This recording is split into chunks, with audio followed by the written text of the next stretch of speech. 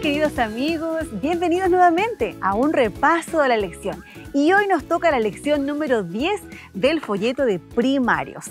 La semana pasada, ¿recuerdan lo que estuvimos hablando? Acerca de lo que pasaba en ese monte cuando Jesús pidió a sus discípulos que se apartaran junto con Él para orar.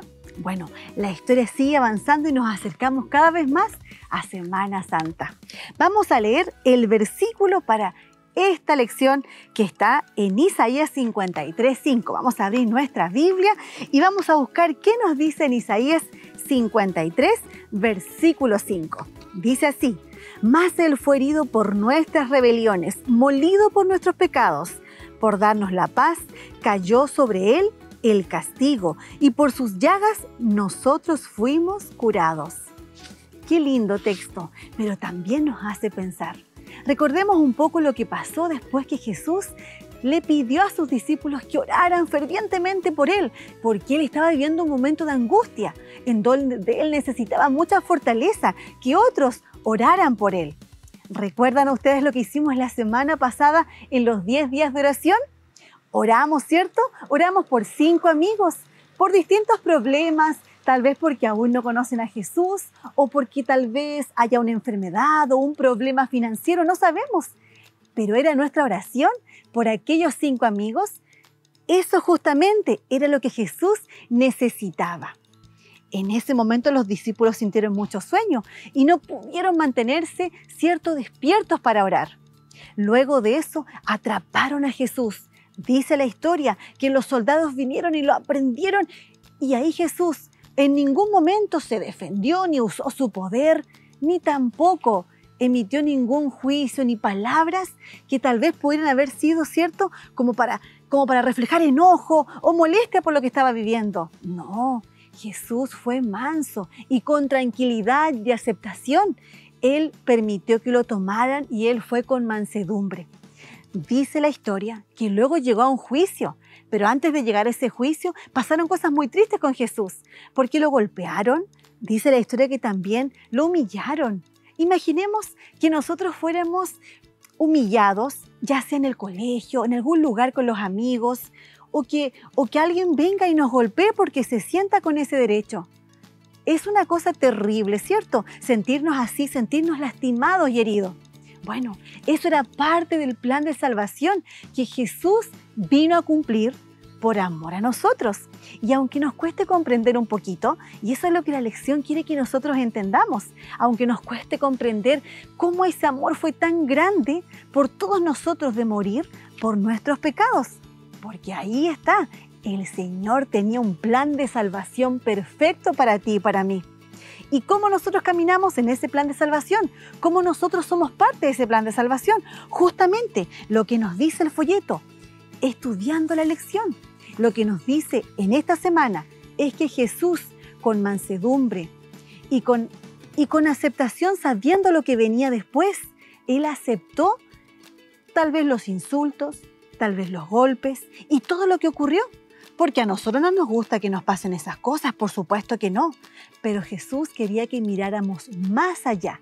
Y es lo que justamente hoy día quiere Jesús, que tú mires.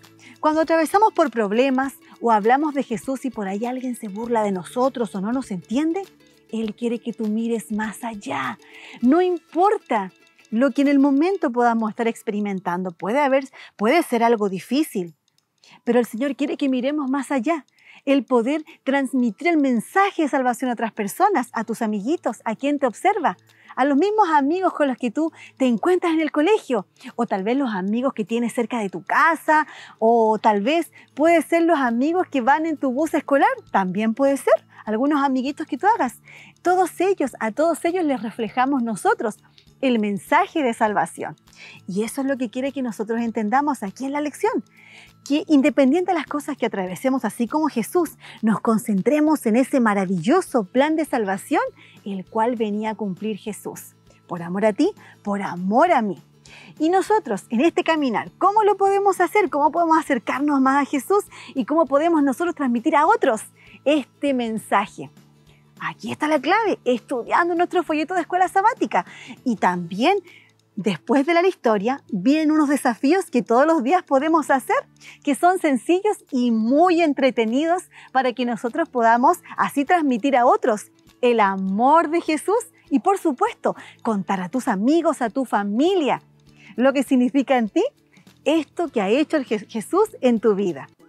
Mira, ahora, antes de que terminemos este repaso, te voy a invitar a que oremos y que en esta semana nos propongamos nuevamente como un buen desafío, el gran desafío, todos los días, como lo dijimos la semana pasada, estudiar nuestro folleto de escuela sabática. Segundo, alabar al Señor, ¿te parece? Alabemos al Señor todos los días con el canto que a ti te guste. Y tercero, oremos. La oración que sea por nosotros, por nuestros problemas, por nuestras gratitudes y también por los amigos de oración. Sigamos orando por aquellos amigos. Entonces te voy a decir ahí donde tú estás que juntos hagamos una oración para esta nueva semana que comienza y que el mensaje pueda quedar grabado en nuestro corazón. Oremos. Amado Señor, gracias te damos por tu infinito amor. Gracias por el amor tan grande que tú tienes por nosotros. Gracias por recordarnos en la Biblia cuánto, cuántas promesas hay, Señor, que nos rescatan cada día. Acompaña a cada niño en esta semana para que pueda, Señor, ser un guerrero triunfador en ti. Acompáñales también para que el repaso de su lección pueda ser todos los días. Señor, que cada niño pueda experimentar en ti el deseo maravilloso de cultivar una amistad. Pedimos tu bendición para cada niño, pedimos una bendición por esta semana, para iniciarla tomados de tu mano. Lo pedimos, Padre, en el santo nombre de Jesús. Amén. Amén. Que el Señor te bendiga grandemente. Nos vemos.